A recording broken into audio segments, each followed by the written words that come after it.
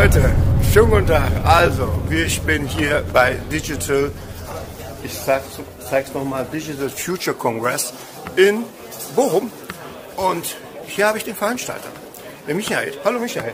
Hallo, ich grüße dich. Schön, Danke. mit dir die kleine Runde zu gehen. Ja, lass uns mal gucken, wie es da draußen aussieht oder beziehungsweise den Leuten auf LinkedIn mal zu sagen, hier entsteht Digitalisierung, hier entsteht IT Auf jeden Fall. ja, und Security und mal gucken. Genau. Wie ist das hier entstanden? Was war deine Idee? Also die Idee ist auf jeden Fall, mittelständische Unternehmen ranzuführen an das Thema Digitalisierung. Es ist ein Megathema. Viele mittelständische Unternehmen haben auch im Moment ja, ganz andere Sorgen, aber ich halte das Thema Digitalisierung für eines der absolut super wichtigsten Themen, um Wachstum zu generieren.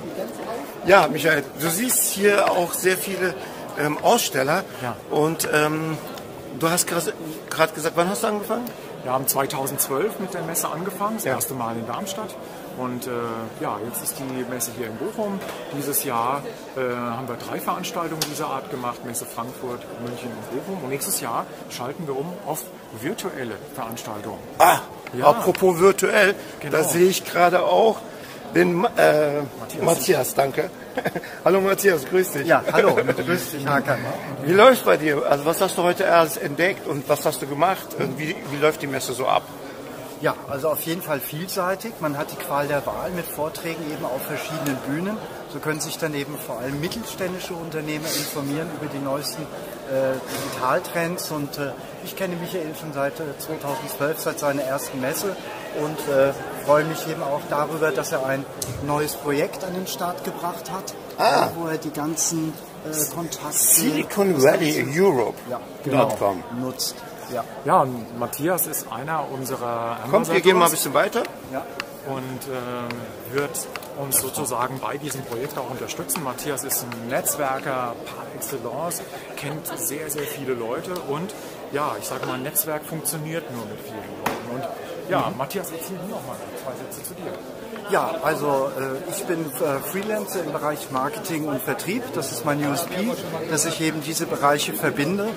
Und äh, mit der äh, zunehmenden Digitalisierung wachsen die immer weiter zusammen.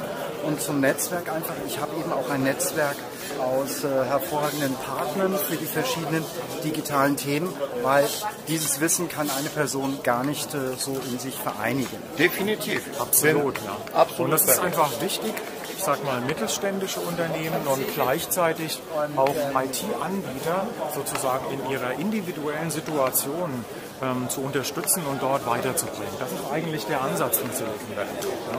Also es gibt viele Organisationen, die auch politische Themen nach vorne schieben. Das wollen wir im ersten Ansatz gar nicht, sondern uns geht es wirklich darum, ähm, ja, Unternehmen zu fördern in dem augenblicklichen Status, in dem sie stehen. Ganz genau. Aber heute ist ja ähm, das Hauptthema IT-Security. Ein Thema, IT-Security. Es gibt ja insgesamt vier Bühnen und eine Bühne beschäftigt sich mit dem Thema äh, IT-Security und ähm, andere Themen beschäftigen sich aber auch mit anderen Themen, mit äh, Prozessoptimierung, mit äh, strategischen Elementen von IT und so weiter. Also es ist sehr individuell auch und ähm, wird angepasst oder jeder kann sich sein individuelles Programm selbst zusammenstellen.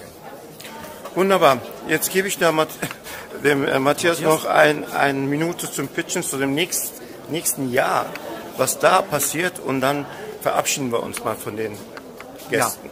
Also ähm, ich weiß jetzt ja nicht, was, was schon gesprochen ist. Also ähm, es geht eben darum, dass wir das neue Projekt eben mit dem Silicon Valley Europe eben voranbringen, um eben die deutschen ähm, äh, Unternehmen äh, zu befähigen, ins äh, Ausland äh, zu, zu expandieren und sie zu unterstützen eben bei Fragestellungen wie Mitarbeitergewinnung, KI und was eben alles so, so die, die heißen Punkte sind. Also das wird das große Thema werden für 2024.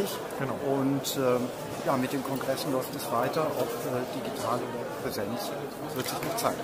Ihr habt es gehört, meine Damen und Herren, Machine Learning ist wieder am Ankommen. Wir haben angefangen und 2024 wird das noch ein riesengroßes Ball werden, von einem Tennisball zum Basketball oder Medizinball, sage ich jetzt mal. Und wir sind gespannt auf euer Erfolg und definitiv werden wir nochmal darüber äh, berichten. Super gerne. Okay. Bis bald. Tschüss.